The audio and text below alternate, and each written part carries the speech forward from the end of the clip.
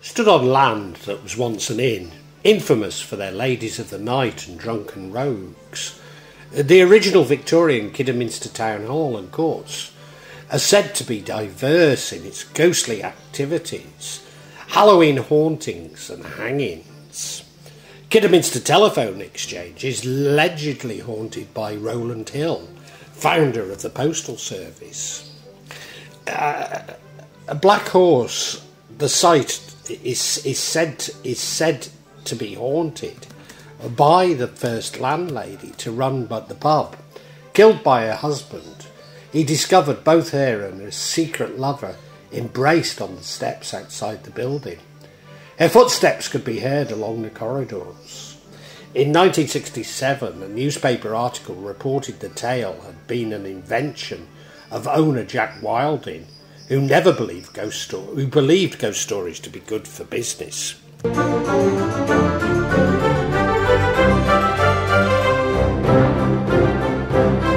Harvington Hall is an impressive red brick Elizabethan property with tall chimneys. Most of the rooms are still filled with original paintings and furnishings, and the house has what is probably the best collection of priest holes of any home in the country.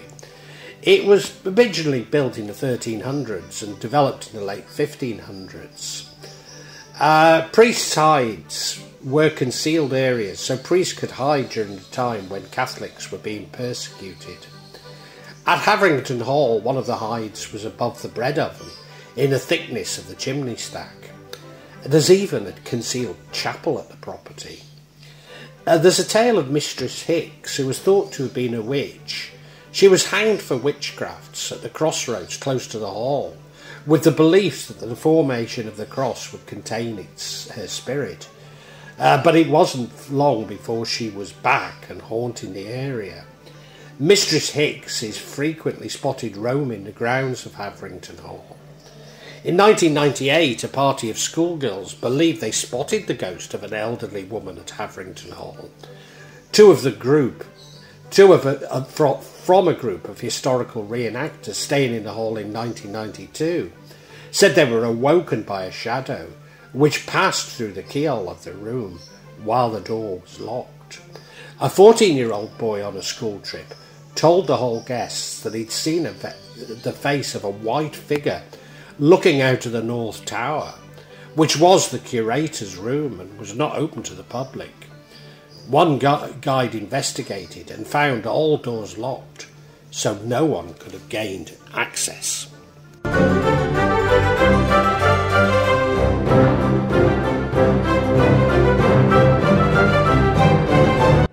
Wolverley at Drakelow, adjacent to Kinver Edge, an ancient document gives reference to this place, has been home to a dragon Drakelow Tunnels began life as a shadow factory for British Leyland during the Second World War, producing aero engines.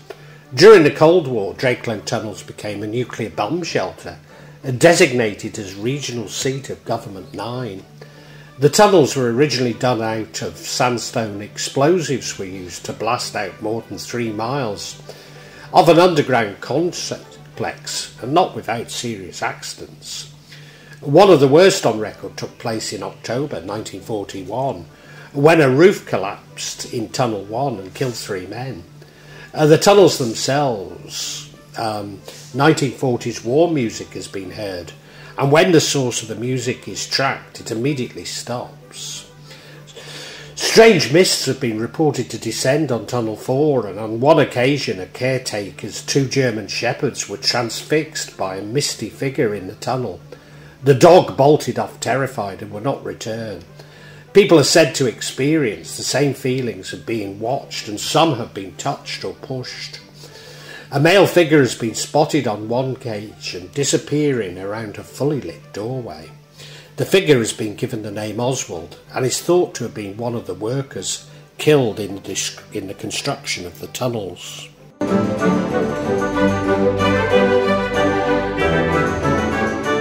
In Bewdley, 14 year old Robert Millwood saw a glowing figure of an elderly man while lying on a settee in his grandmother's home. Susan Wowan, an alleged witch of Bewdley. Local legend tells that she grew horns out of her head and had them removed every three years in order for the next set to grow grow through. And an old record says that a Mr. Soley had one of them plated in silver. Uh, the Ashmolean Museum apparently has one of its horns, her horns in its collection. Sandy Wayway, who runs the 18th century Talbot Inn in the Hall Street, uh, believes the pub has acquired spirits other than those found on the sh- top shelf, with a number of unusual occurrences happening on the premises. There have been a number of sightings of a ghost of a, a man in a black coat by her and her family in the pub for in the 28 years they've run it. A picture taken for Halloween in 1989 that seems to have caught the apparition in the Talbot bar. Mrs. Wayway dressed up to promote the pub's Halloween night, uh, but when the picture was developed, she was shocked to see a, a man in a black coat in the bar. For years, she kept quiet due to her own cynicism about ghosts and spirits. Uh, but there were regular sightings of the ghost by her children, other family members, and customers, as well as a string of spooky goings on in recent years. Uh, one remarkable thing was the bottle of beer was cleanly sliced and left on the bar when the pub was closed. There is no explanation for how that occurred. The George Hotel in Bewdley's CCT footage has found to have shown mysterious shadows moving around the rooms. Cleaners at the hotel have been having strange experiences there for years, such as doors slamming shut unexpectedly and things moving around on their own. There's also been a rumour over the years about a grey lady who walks around a ballroom at night. Strange sightings of a ghost train on the Severn Valley Railway and a number of reports of a phantom steam train. It is a recorded fact that four people were killed during the making of the Bewdley Tunnel in the 1880s. A train was allegedly seen late at night by people who said that they heard the tracks vibrate and saw a ghostly shimmering haze. Along the tracks in Bridgnorth, Shropshire, Arnold was the name given to a ghostly figure seen by Mr. and Mrs. Reynolds, who believed he would manifest to warn them of an impending accident. It may have been the same entity spotted by a soldier on duty during the Second World War.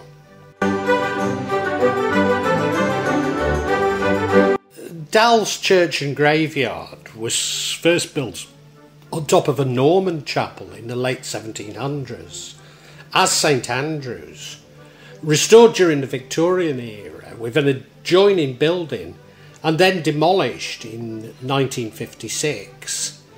Since then, it's been left to the elements with little attempt made to maintain or tidy the woods that were planted around it centuries ago. A mysterious man has been seen several times walking back and forth along what was once the path along the front of the chapel ruins. Some of the ruins of the parish room are still standing today, though decaying with time. The graveyard is the final resting place of the last reverend of the church here, uh, Joseph Tonks. Also, Susan Wowan, a lady whose name is linked with many tales of satanic worship and witchcraft, apparently also growing horns and shedding them every so often. The graveyard also has a mort safe. These are most commonly used to prevent grave robbers from stealing bodies, but also having a much more sinister possibility of keeping the deceased in, encased and preventing the dead from returning one day. These often consists of iron bars over the grave and are much more common in Scotland where grave robbery was also more common, especially in Edinburgh where Burke and Hare achieved notoriety. There are such there are other stories and sightings of hooded figures and a ghostly girl.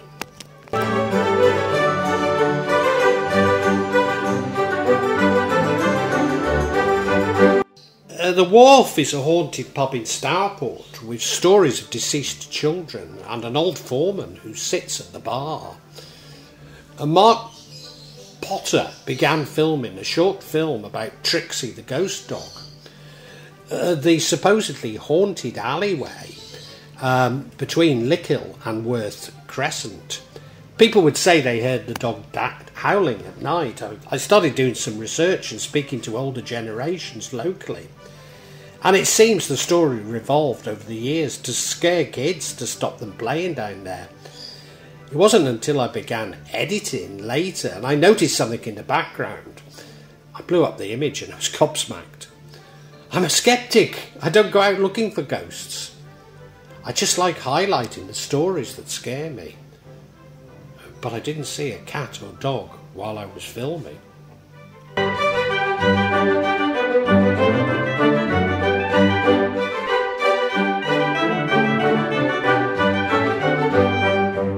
Priory House is a timber frame building found on Friar Street, Droitwich. It's said to date back from the mid 17th century, though a, so- a solar wing is thought to have been older. Priory House is said to be uh, Priory House office is said to be haunted by the ghost of Captain Sir Richard Cardbury. Sir Richard Cardbury was encouraged to marry his cousin Lucretia in order to claim his inheritance. Lucretia, however, was an unwilling bride and stabbed Sir Richard to, to death in a small room at the rear of the building. It was in this room that a spirit terrified a guest in 1875. It's said that Richard, Sir Richard visits the house every 50 years. That's due again on April the 14th, 2025. Ghostly friars have also been seen in the building, as well as the nearby Norbury Theatre. Chapel Bridge carries town centre traffic across the river Salwarpe and is named because a chapel once stood across it. Uh, based in the 17th century, a verger was in the habit of riding a horse to a local hostelry where he enjoyed several jugs. In fact, he got so drunk that he would always rely on his trusty horse to find the way back to the chapel. On one night, however, the horse was spooked by a thunderstorm and jumped from the bridge. The verger so suffered a broken neck and died. Since that fateful night, there have been numerous sightings of horse and rider on the bridge who then disappear. In the summer of 1976, a woman walking along Primsland Way was amazed to see a scruffy, cap wearing boy of about nine playing with a whip and top, a very Victorian game. The amazing thing was the boy was hovering for about one and a half metres above the road surface. He was thoroughly enjoying himself. I stood and watched for about five minutes.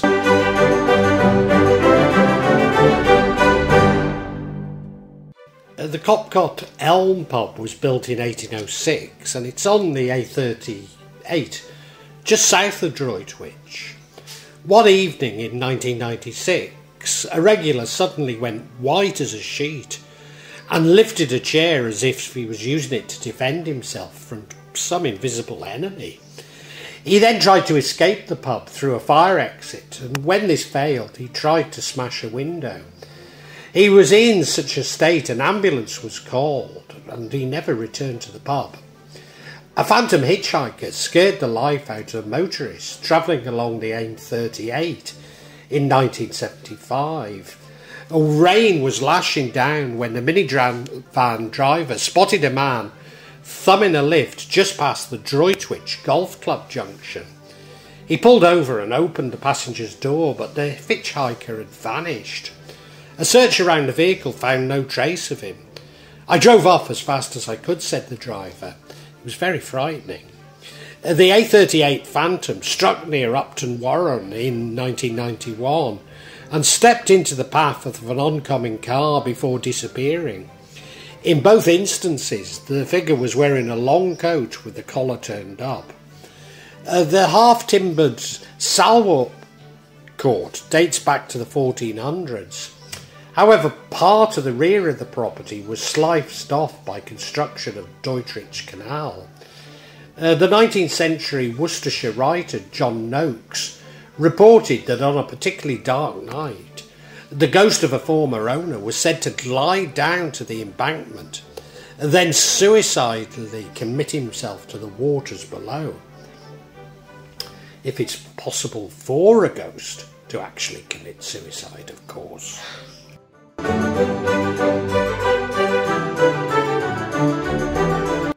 At a Droitwich roadside there are memorials to dead pets that have been linked to the nearby haunted mansion. Historic millionaire Salt King, Sir John Corbett, lived at nearby Ch- Chateau Impney, where he created a pet cemetery of his own. His ghost is still said to haunt the majestic mansion on the grounds of the edge of Birmingham, off the M5 Junction 4 near Bromsgrove. Uh, visitors have reported hearing the Tams, Hey Girl Don't Bother Me, coming from the basement of the hotel. A monolithic obelisk uh, featuring words from the number of headstones from the pet cemetery was removed to the edge of Lido Park in t- 2016 the pet cemetery and memorial was originally in a secluded area outside Mill Cottage in the grounds of Victorian Chateau Impney. His love of dogs and horses can clearly be seen in the devoted final farewells. Poignant messages can be read on all its faces and date back as far as 1877. They speak of horses and dogs who have long gone and buried in the spooky grounds of the chateau.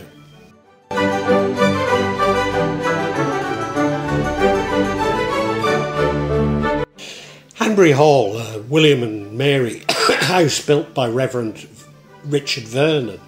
It was the seat of the Vernon family for three centuries and was developed into its current impressive form by Thomas Vernon in 1706. In the 1770s, it was passed to young Emma Vernon, and a search began for a worthy husband. Uh, the renowned beauty wed Henry Cecil, heir to Burghley House and the title of the Earl of Exeter. However, it was never a match made in heaven, and the marriage was further strained when the children died in infancy, and they accrued large debts when mod- remodelling Hanbury Hall.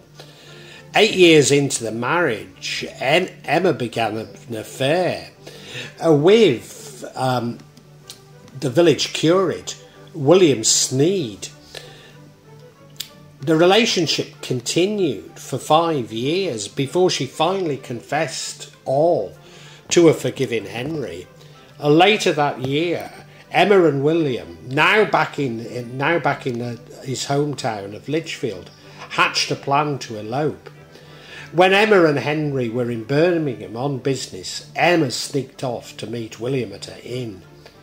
Henry could not bear to stay at Hanbury Hall and retreated to a farmhouse in Shropshire, adopting the nom de plume of John Jones. Hardly surprising, as it's an extremely common name in Shropshire. In, uh, in fact, I had an uncle called it. In 1791, he divorced Emma and married the farmer's daughter. Uh, this left Emma free to marry William, uh, which she did the following year. Uh, but his tuberculosis growing steadily worse. The couple set off for Portugal in search of a healthy Mediterranean air. However, William soon succumbed to his illness, and a heartbroken Emma travelled back to England though not to Hanbury Hall, as Henry had sold off his Constance and locked it up. After Henry's death in 1804, Emma was finally able to return to her childhood home, Hanbury Hall, and her ghost is often seen wearing black, mourning the loss of her true love. Uh, but she, she remarried her third husband, John Phillips, and she remained at the estate until her passing in 1881. Emma had made it clear that she did not want to be interred in the Vernon family vault at Hanbury Hall.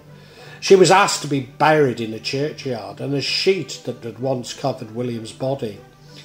The emotional impact of those long ago events has apparently lingered on at Hanbury Hall, and there have been a number of sightings of Emma's ghost dressed in black around the grounds.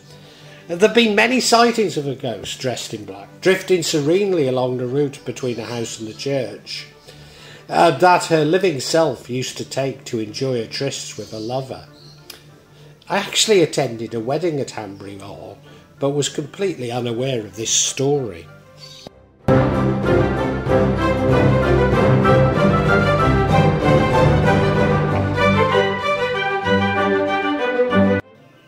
The Fountain Inn is situated just outside of Tenbury Wells. Originally a traditional black and white 17th century farmhouse, it first became a beer and cider house in 1855. It was then known as the Hippodrome, meaning racetrack, in recognition of the horse racing that used to take place on Oldwood Common adjacent to the pub. As a coach house and cider mill, it would serve the drovers with their herds on the way to market in England from the lush feeding grounds of the Wells Hills. Uh, there are many interesting stories connected to the Fountain Inn, most lo- notably um, uh, lay claim to it being a haunted pub.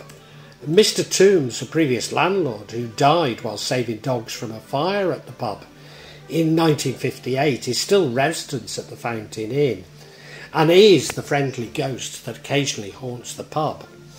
Tenbridge Wells, of course, is famous for its mistletoe festival.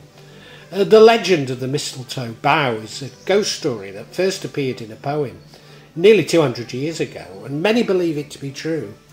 And numerous castles and stately homes in southern England claim the gruesome tale as their own although none associated with Tunbridge Wells, despite the story being popular during the festival. A new bride was playing a, um, a game of hide and seek and trying to get away from, from the crowd during her wedding breakfast. She hides in a chest in the attic and is unable to escape. She's not discovered by her family and friends and suffocates or dies of thirst. The body is found many years later in the locked chest as a skeleton in a wedding dress.